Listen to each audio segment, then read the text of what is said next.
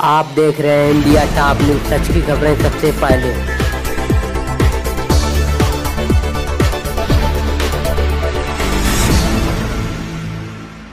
नमस्कार, India time स्वागत है वीकी न्यूज़ बलिया। पुरानी पेंशन हर हाल में बहाल होगी अध्यक्ष विजय कुमार बंधु, उत्तर प्रदेश बलिया ज़िले में अटेवा पेंशन बचाओ मंच के तत्वाधान में टीडी कॉलेज के सभागार में मंडलीय सम्मेलन का आयोजन किया गया। इस दौरान मुकथित अटेवा पेंशन बचाओ मंच के राष्ट्रीय अध्यक्ष विजय कुमार बंधु ने माँ सरस्वती के पूजन एवं दीप प्रज्वलित कर सम्मेलन का उद्घाटन किया। इस दौरान अटेवा बलिया के ब्लॉक अध्यक्षों एवं समस्त विशिष्ट अतिथियों का अंग वस्त्र से सम्मानित किया गया। साथ ही आजमगढ़ व मऊ के अध्यक्षों को जयप्रकाश नायक चित्र स्मृत चिन्ह के रूप में भेंट किया गया। राजेश कुमार प्राथमिक विद्यालय कुसौरी कला बलिया। ये आज किस प्रकार का कार्यक्रम है टीडी कॉलेज में? ये हम लोगों के बुढ़ापे की जो लाठी छीन ली गई है सरकार के द्वारा पुरानी पेंशन संभावना इसी के लिए हम लोग अपना संघर्ष अटेवा के बैनर तले कर रहे हैं। जी। तो इसका मतलब आप लोग पुरानी पेंशन को लेकर ही मानेंगे।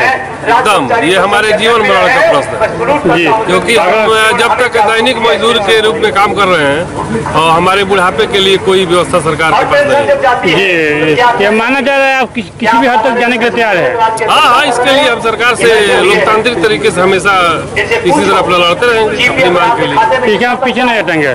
पीछे हटने कोई सवाल नहीं है। मुझे बताइए। मैं रवि कुमार यादव सहायक अध्यापक पूर्व माध्यमिक विद्यालय गढ़वाल जी आज बापू यहाँ टी डी कॉलेज में कैसा कार्यक्रम है? टीडी कॉलेज में आंध्र सेवा के बैनर तले पुरानी पेंशन की मांग के लिए हम इकट्ठा हुए हैं। और यह मांग करते हैं। कि हमारी पुरानी पेंशन जो 2004 के बाद बंद की गई है उसको बहाल किया जाए। जी अगर बहाल नहीं होती तो क्या करेंगे आप लोग? अगर हमारी पुरानी पेंशन बहाल नहीं होती है तो केंद्र में प्रदेश में जो हमारी सरकार बैठी हुई है हम उनसे उल्टा मांग कर देंगे। कि आप भी नई पेंशन स्कीम जो लागू किए हैं हम लोगों के ऊपर उसको आप भी स्वीकार करिए। अगर नहीं स्वीकार करते हैं तो हमको पुरानी पेंशन दीजिए। आप एक साथ एक से लेकर के कई पेंशन ले रहे हैं आप विधायक बन जाते हैं तो उसका पेंशन लेते हैं मंत्री बन जाते हैं उसका पेंशन ले, लेते हैं सांसद बनते हैं उसका पेंशन लेते हैं। तो हम लोगों के साथ ये अन्याय क्यों? ये सुविधाएँ हमको चाहिए और नहीं तो आप भी हमारी तरह नई पेंशन स्कीम स्वीकार करिए और नहीं तो आने वाले दिनों में जो भी अटेवा के बैनर तले संघर्ष होगा उसकी सारी जिम्मेदार सरकार की है।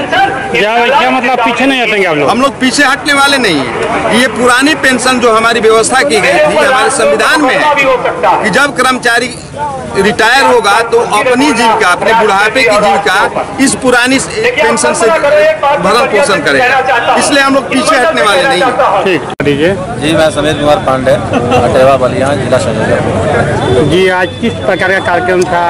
और इस कार्यक्रम में मुख्य अतिथि आप लोग किसने बुलाया था ये क्या देखिए वैसे मंडलीय सम्मेलन था।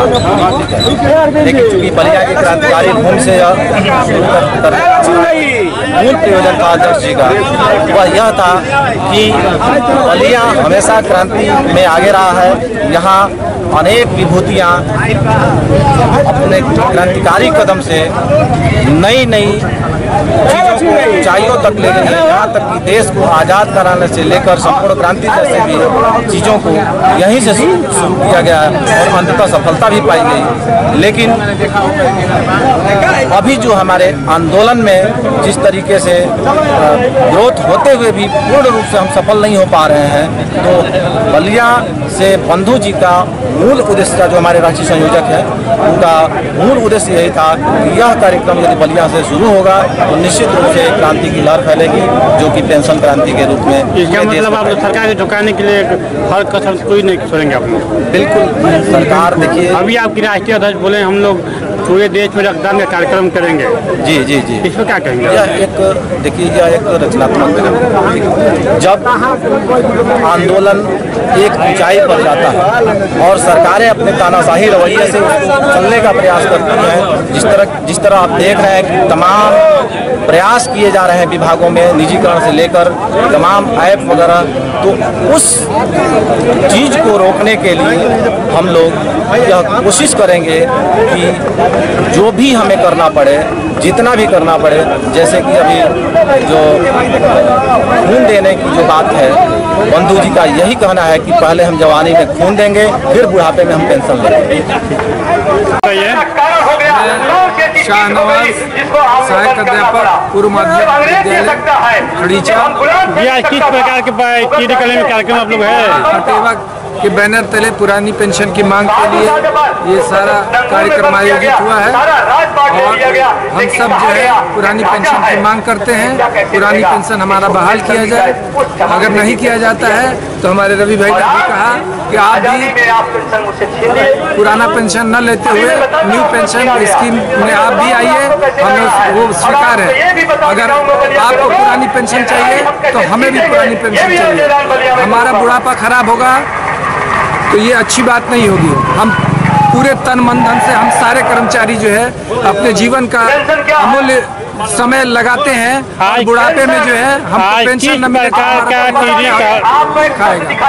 किस प्रकार के टीडी कॉलेज में ये मीटिंग है? क्या है? तो विवरण बताइए। ये अटेवा के बैनर तले पुरानी पेंशन की मांग करने के लिए आयोजन हुआ है ये सारे लोग यहाँ जो इकट्ठा हुए हैं। जनसंख्या कितने होगी? यहाँ जनसंख्या कम से कम जो है दस से पंद्रह हज़ार के बीच में। है। इसका मतलब माना जा रहा है आप लोग पीछे नहीं हटेंगे। कतई पीछे नहीं हटेंगे जब तक कि हमारी पुरानी पेंशन बहाल नहीं की जाती है तब तक हम लोग पीछे नहीं हटने वाले आज इस बाबू भवन में कार्यक्रम है। क्या उद्देश्य है? किस उद्देश्य से कार्यक्रम हुआ है? देखिए अटेवा के बैनर तले आज यहाँ पर आजमगढ़ मंडल का पेंशन क्रांतिवीर सम्मेलन यहाँ रखा गया था। और अटेवा का इस आंदोलन का इस सम्मेलन का बस एक ही मकसद है कि पुरानी पेंशन। ये हम ये देख रहे हैं कई दिन से संघर्ष चल रहा है बहुत दिन हो गया। फिर भी आज भी सरकार कुछ पहल नहीं की। हाँ निश्चित रूप से आपकी बात सही है कि सरकारों की जिस तरह से पहल होना चाहिए इस आंदोलन को वो नहीं हुआ। लेकिन ये भी नहीं कह सकते कि हम संघर्ष में आगे नहीं गए। बहुत सारी चीज़ें इस संघर्ष से हमने प्राथमिक किया है। हाँ उन सरकारों को जिस स्पीड से तो आगे विचार करना चाहिए गंभीरता लेना चाहिए तो नहीं ले रही है। लेकिन इसका ये मतलब नहीं कि हम अपनी लड़ाई छोड़ देंगे। वो सुने, ना सुने, लेकिन हम अपनी लड़ाई को आगे बढ़ाएँगे। और जिस तरह से आज का सम्मेलन, चाहे ओ पी राय जी रहे हो, हमारे समीर पांडे जिला सचिव रहे जिन लोगों ने मेहनत करके आज आपने देखा हो, खुद आपका तमाम अनुभव रहा होगा, लेकिन मुझको लगता है इस तरह का सम्मेलन आपने कभी नहीं देखा। हाल में जितने लोग थे, उससे कई गुना ज़्यादा लोग बाहर पड़े थे। ये एक जन आंदोलन की तरफ़ आंदोलन बढ़ रहा है। और अगर सरकारों ने इस बात को नहीं ध्यान सुना तो निश्चित रूप से आने वाले टाइम में, क्योंकि बागी बलिया विद्रोह का गढ़ रहा है पेंशन का भी विद्रोह अगर उड़ेगा तो बलिया की माटी से उड़ेगा इसमें कोई दौरा नहीं। एक पुरानी पेंशन है पुनः एक सरकारी एक ऐप लागू की लागू की है इस पर आप क्या कहेंगे? देखिए मैं आपसे बहुत ईमानदारी से कहता हूँ सरकार की जो इस समय ऐप को लेकर के या तमाम एनजीओ को लेकर काम चल रहा है उसका सीधा सीधा मकसद है कि सरकारी व्यवस्था को ख़त्म करना। जिसके हम खिलाफ हैं जिसके खिलाफ हम खड़े हैं जिसके खिलाफ हम लड़ेंगे सरकार मेरी समझ नहीं आया कि आप संविधान से क्या बोले? लोक कल्याणकारी राज्य वेलफेयर स्टेट वेलफेयर स्टेट को बिज़नेस स्टेट बनाने का प्रयास न किया जाए। हर चीज़ प्लस माइनस से नहीं चलती हर चीज़ लाभ हानि से नहीं चलती इस देश में शिक्षा, इस देश में स्वास्थ्य, ये हमारी सरकारों की ज़िम्मेदारी है। उसमें पैसा कितना आ रहा कितना जा रहा वो विषय नहीं है। विषय है कि उसको स्वास्थ्य मिल रहा उसको शिक्षा मिल रही नहीं मिल रही ये महत्वपूर्ण चीज़ है। जी अगर आपकी सरकार की मांगे अगर नहीं अब सुनती है तो आगे क्या आपकी प्लानिंग रहेगी? आगे की घोषणा हो चुकी है राष्ट्रीय लेवल पर घोषणा हो चुकी है। सात दिसंबर को हम लोग पूरे देश में रक्तदान करने जा रहे हैं। और ये रक्तदान अपने आप में बिल्कुल अजूबा होगा। सरकारी कर्मचारी पहली बार रक्तदान देने जा रहा अपनी पेंशन के लिए। उसका नारा है जवानी में रक्त खून देंगे और बुढ़ापे में पेंशन।